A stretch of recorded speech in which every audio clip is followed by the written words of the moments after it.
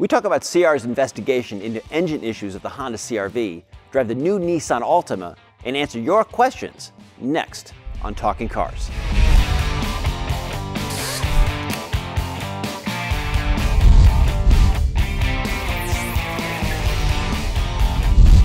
Hi, and welcome back. I'm Mike Quincy. I'm Jennifer Stockburger. And I'm John Linkov. So there's been a lot of chatter these days about what's going on with the Honda CRV, specifically a lot of engine and drivability issues, which kind of leads us to also one of our many questions that we've been getting from our great audience about this car. Mm-hmm. This is coming from Dave, who writes, the Honda CRV has always been a top-rated reliable SUV, but the ninth generation has a well-documented issue of oil dilution, which Honda seems to have no fix for. Every owner's form is polluted with complaints. There's a class action lawsuit, and China has halted sales of the model. What can you share about this, whether or not this vehicle is still okay to buy? So, this has involved uh, also uh, Consumer Reports' own reporters. The great Jeff Plungis wrote a piece for. Consumer Reports Online about this issue. And uh, it mostly has to do with the 2017 to 2018 CRV with a 1.5 liter turbo engine. So, um, John, can you take us through what is going on with this car? Yeah, sure. Basically, it, it started with, like the gentleman said, internet complaints, but also a recall in China of hundreds of thousands of CRVs, which we should note has a different engine than the one that's sold in the United States. It's right. slightly different. Right. Mm-hmm. Um, and the oil, uh, fuel and, and, oil were mixing in the engine and that's not obviously what not you good. want. um, particularly, Honda said in colder climates, though from our research we saw that they, it was happening in warm climates. It was happening not just in Minnesota and New York, but it, you know it was in warmer climates that aren't going to have the same cold weather starting issues. Now Honda says it's it's uh, it's working on a solution. Um, they say that it's not nearly as widespread as you hear on the internet, and you know in some ways yes, because forums will blow up with people attacking, you know, attacking it and saying there's a problem. And you still think Honda sold a couple hundred thousand of those already in the United States. So it may be a small issue, but it's still an issue for owners. Right. All right. So so so so with this going on with such a popular model. Uh, you know, being consumer reports, we're always saying, what can right. you as a consumer do? What, what advice do you have for the owners of this car? Right. So, so certainly this is not a recall. So, um, you're not going to get that letter that says, "Hey, you got something with your car, go get it fixed." So it's you, the onus is going to be on the owners to bring their car if they feel they're having this issue. So um, couple of things you could do. One, check your oil. Um, you know, a lot of people may not even do that frequently, but do that because often when the fuel gets into the oil, it registers as an overfill in your oil level. Mm-hmm. So do that. If you're smelling fuel, that's in a lot of the complaints. People are smelling mm-hmm. fuel. That may be an indication. And are you having some drivability issues, stalling, you know, not not starting well, particularly if it's cold. You're not getting Is your heat, heat you're not working? Heat, yeah. Right. It manifests in a number of different ways. You know, and you mentioned, if I could jump in, uh, yep. the stalling issue, because that is a safety issue right. in our mind. Right. And if you're driving along stalling, that's dangerous. so instead of being a, a, technical service bulletin that's sent out to dealers, and like you said, the onus is the owner to come in and ask about it, it should be something that they receive in the mail because it is really a safety issue. And, that, and that's and that's a, a real important po- point because in Jeff Plungis' article, you know, they said this is not being touted as a safety Correct. issue, which means by law Honda does not have to uh, necessarily take action on this. Right. So I would say, in addition to making those checks, or, or you know, winter's coming, you may not even be experiencing yet, but if you do, Take the time to register, particularly if you're having stalling issues or real drivability issues. Go to safercar.gov, which is the National Highway Traffic Safety Administration website, and register the complaint. If there's enough of them, it may alter how Honda feels they need to handle this. It may ultimately become a recall. But in the meantime, onus is on you. Bring your car in Honda's saying in our, our investigation that they're promising some level of fix. In November-ish. Yes, November-ish right. timeframe. Take it to the dealer. Tell them you're having the problem. Because advocate for yourself to get it fixed. Because the early fixes were, well, just change your oil every thousand miles. Right. That, that is not a fix. Not or, or, or, or take your car on a longer highway drive or something like that to right, get it more right. up to operating speed. I mean, what's what kind of uh, baffles me a little bit about is, is, is according to Consumer Reports article, is Honda devised a recall plan for the car in China about a month after Honda owners right. uh, deluged the company with complaints. Deluged, so to your point, yeah. if there's a get get online, get on Honda from from a, from a dealer level, from a corporate level, get organized as owners, and say, you know, you, you got to do something about this. Right. One thing to note: recall laws are different in China than they are in the United States. Right. So people are using this as an excuse. Well, they recalled a 300,000. There needs to be one now. You can't use Right, it's not a direct European regulations, Chinese regulations as justification in the United States. But it, it should raise also an alarm with the manufacturer. Right. Right. And because they were so quiet on this, that's what what Despite really irks, chatter. irks Right. owners. You know, Right. because they bought a new a car that's new, a lot of money. One owner told us that he had to trade it in on a Rav4 and took a seven thousand dollar hit on that. Right. In the big picture of the number of CRVs that have been sold, it is small. It's Mm-hmm. still small despite the chatter. I think we had nine reports in our reliability data, but we have thousands of CRVs in that data. So it is still small, even though There's a couple there's a lot of chatter, a lot of talk about it. It's still relatively few vehicles for the number of CRVs they've sold. And Honda says it will probably have a fix uh, for the problem uh, through a product update campaign or a warranty extension. Right. So um, keep on top of this if you're a CRV owner. And if you're looking to buy one, wait till the 19s are out because they said whatever recall Right. will be, or whatever, sorry, Whatever fix. fix, will be included, will, will, will be on the 19s, which aren't, in, which aren't delivered sale. yet, aren't Right. maybe not even in production. So wait for 19. Yep. Okay. You know, if you have your heart set on it. Yeah. So that's kind of our advice on the CRV, which uh, takes us to our next segment, which is what we're driving here at the track. And uh, the, the car, the car du jour is uh, the Nissan Altima. This is completely redesigned for 2019. The big news is that uh, the Subaru Legacy is not the only game in town if you're looking for a mainstream sedan with all-wheel drive. Uh, the V6 engine is gone. And John, you, you've driven the car. Uh, what do you, you know, what do you, what's your take so far? Yeah, so the one that they that, that we rented from Nissan when they, they Right. sent to us to rent is uh, the base engine. Uh, so it's front wheel drive. Um, it, it's a fine sedan. Um, you know, I'm not going to make a judgment on their trim level that they sent. uh, You know, uh, all of that. It drives nicely. It's roomy. Um, it has some things that I'm not a fan of. Very sloped windshield and, and lower roof. So it's a little bit of a challenge for me to find a comfort. I sit a little more upright. Um, but also in the sense of getting to see over the cowl and over the hood and park, you, you know, you're fighting this, okay, head in the ceiling to see, or you're sitting lower and now you don't have the same visibility. Um, you know, but like you said, all-wheel drive uh, available on the Ford Fusion, standard on the Legacy. So it is a, um, it, it- it's positioning them as a little unique in the segment, even though it's a a, dropping segment because SUVs are things that people want. Honda Honda CRV category, you know, in particular, you know, SUVs, the, yeah. the same size uh, vehicle. Um, they still sell hundreds and hundreds of thousands of these overall. Yeah, So- th- this is this is a popular vehicle. Yeah, I yeah. mean, I, I kind of liked it. I found it very straightforward. We have so many complicated. It has a traditional gear shifter. I found the controls very easy to navigate. You talked about roominess. Part of my day is loading up mostly most days two, sometimes three 14 year old boys and taking them to high school every morning. And it is a great judgment of the roominess of a car because they got backpacks and they're getting big. And it was fine for three 14 year old boys this morning. How about the horses? You know, yeah, I didn't put the horses in, but the 14 year old boys. and, and you mentioned a lot of uh, standard safety equipment. Well, that's the other jump is they've made forward collision warning, automatic emergency braking, all standard. Uh, I, I found I found the handling pretty good. Yeah, it I was like impressed. It, it, held on pretty good in Yeah. the corners on our track. Uh, decent steering feedback. Uh, and You said it's the base so- engine. I was plenty happy with Yeah, it. yeah. So a little CVT, uh, CVT-ness. It does shift, but if you really are accelerating on the highway, it just. and And I say, you know, Nissan, you know, they aren't the, the Camrys and the Accords. There might be a better deal to be had there, a great way to get all the safety at a more reasonable price.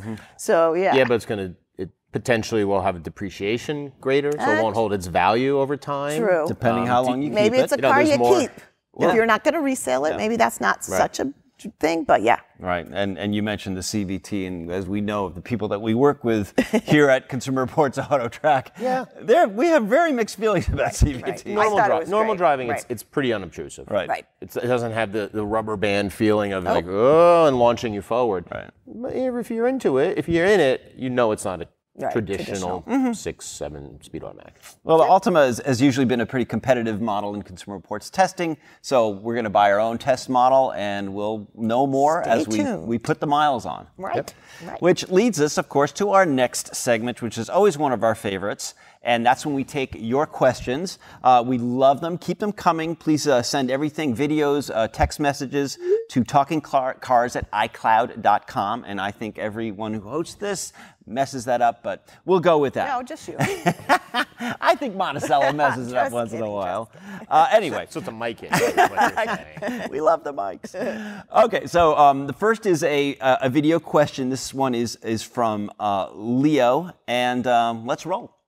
I have a question upon the automatic transmission. That is, should we put the car in neutral while we stop in front of a stopping light? Well, I do that before because I think that may release the stress of the transmission from the engine. But I heard a lot of people talking on the internet saying that, oh, you shouldn't do that because that may cause an increasing in wear and tear on the transmission. Should we do that, or should we just leave the car in drive and hold the brake pedal? So, sort of interesting question, mm-hmm. Jen. What advice do you have for Leo? Yes, so I again had my own thoughts, but then I inquired of our mechanic John to confirm. And Big John. Big John, our, our lead mechanic, and his answer was leave it alone. You don't need to shift to neutral at that very low idle speed at a stop that the torque converter is just kind of sitting there, you know, floating were the, was the word he mm-hmm. used, doing very little. Actually, the additional shift would um, probably be more wear and tear than just sitting there letting it float. 'Cause So you- leave you- it alone. It's a physically clunking into gear, you know, Right. depending on the transmission. Back Right. and forth. It's also a safety issue. Right, You know, and a that lot- was the other thing he talked A lot of people Would you will- remember? Will, get, you know, they'll they'll kind of get lazy. You know, you're on a flat surface. Oh, now I don't have to keep my foot on the brake. The car isn't doing that creep. Okay, so you don't have your foot on the brake. The car's in neutral, and someone hits you from behind. You're launching into the intersection. You know, Yeah. or the light changes. And you, you put it in, you go, you go, and it revs, and then it's it's sort of like you know you forget to put it in gear and you just drop the clutch Right. Right. uh, you know, and someone hits you from behind. It's it, it's not worth the trade-off. It's just Right. not worth it's what you're giving up or putting yourself sense. in. Yeah, and your brake lights aren't on if your foot's off. And the that's a good point as well. So, And, and it's funny because when I, I I listened to, to Leo's question, I had to kind of back it up and listen to it again because I thought he was talking about a manual transmission. Yes, yeah, Because back in the day, we used to you have a discussion when you, when you come up to a stoplight with a manual, do you do you just keep your foot in the clutch or do you put it in neutral and, and all that? So that's that's really what I thought it was all about. Anyway, great question. Thanks so much. Uh, keep them coming. Uh, we got another video question this time from Peter about over-the-air updates. I uh, remembered an episode a while ago where you had uh, tested the uh, Tesla braking system and found that uh, the braking distances were larger than expected. You called Tesla and uh, they updated the software and pushed it out over the air just a couple of days later. The thought that uh, a car um, safety operating system can be accessed over the air to me is a huge risk. But you know, don't you think it would be much better if the uh, operating systems and the safety critical software uh, were compartmented, isolated, and not accessible externally? So, John, Tesla, over-the-air updates. What what are your thoughts? Is is this kind of nervousness, paranoia, justif- justified? Um, I think it's pretty cool that Tesla was able to fix the brake braking issue over that. Um, I, I don't think that we're going to see a lot of that with manufacturers immediately. Um, you know, Tesla almost builds like a different car on a regular basis with their over-the-air updates. You know, you're, you're constantly getting getting changes. You know, one of the things that, that we've talked about is, you know, they, they keep the Model S. It looks the same except for the weird nose, but a lot of it's the same, and they just keep making modifications over the air. Um, going to safety, going to worry yeah, you know, you don't want to be a, the beta tester, the guinea pig in the sense of, oh, I got, I got an update. Now I'm going to drive down the road. Oh my gosh, it didn't take. You know, Right. because I think Jen, you've said it doesn't always work on your phone and it bricks. You know, it doesn't always work on your computer, right? And you're kind of relying I- I on your brakes as a I safety think the issue. good thing is that Peter's talking about it.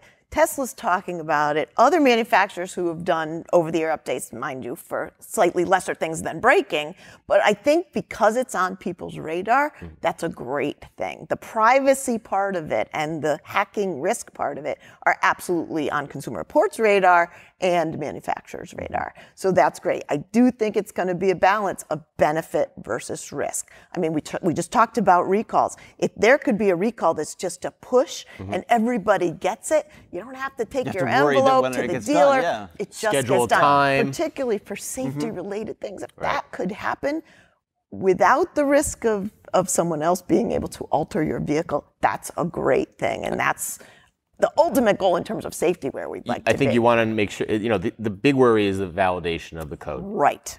You know? And, and, and as you said yesterday, you know, you're, you're bringing the car anyway to the dealer, and it's and it's often you're plugging into their computer, Mm-hmm. and you're hoping that that all that is, is still coming kind of coming Sure. over the air from the manufacturers anyway. And look, Chrysler had an update over the air for the their infotainment system, and it bricked. And they had to send another one to unbrick it. Not a safety issue. Not a but, safety yeah, issue, but as but a you climate control doesn't work. Right. Your navigation system doesn't work. You know, and, and you're getting up the next morning. Okay, start of a trip.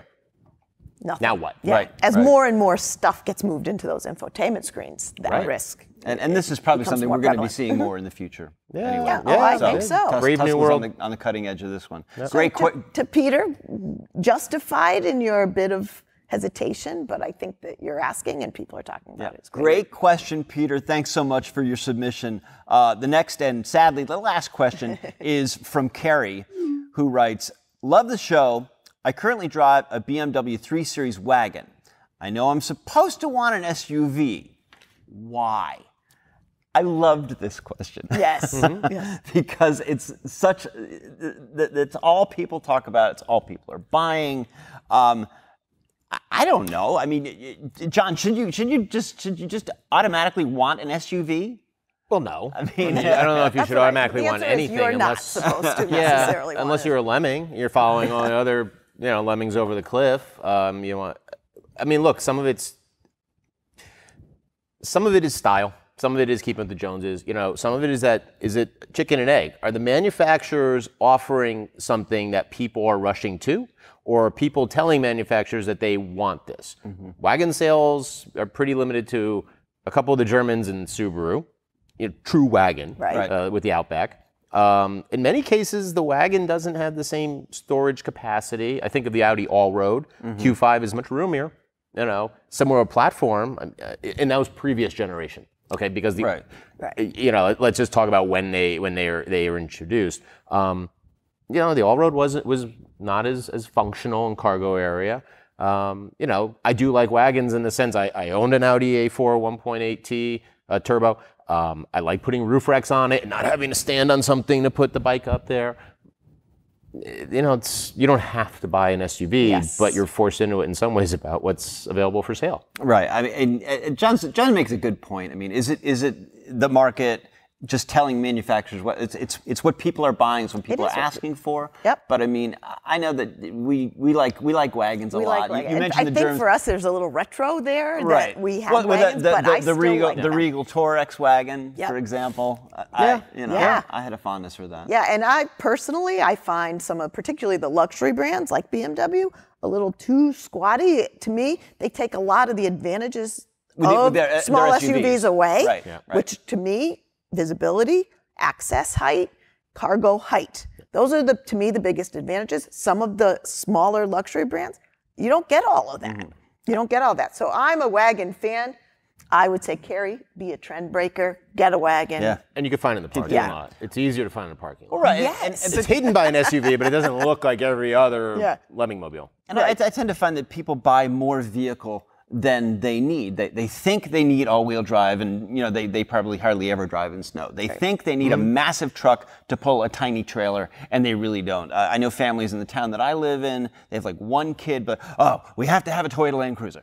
Uh, you know, so I mean, I, that's a little different. My wife, we, you know, we had one child, and then we had a, we have two kids now, six and eight, and she wanted an uh, uh, you know three row SUV, and we don't really pop that third row up much, except when we visit relatives or have Yeah. someone visit. It's it's not often, and it's not even because I get to have cars from from work and get to drive our test cars. We just don't use it. Yeah. Yeah. So, uh, great question. Uh, keep the faith in cars. Uh, forget SUV. No, I mean, it's what obviously it's what people are buying, so that's the way it goes. Anyway, that's about all the time we have for today's episode. Uh, thanks so much for tuning in. If uh, you want to learn more about the topics or the vehicles that we talked about, check out the show notes. Keep those questions coming to Talking, Car- Talking Cars, I did it again, Talking Cars at iCloud.com. Thanks so much. We'll see you next week.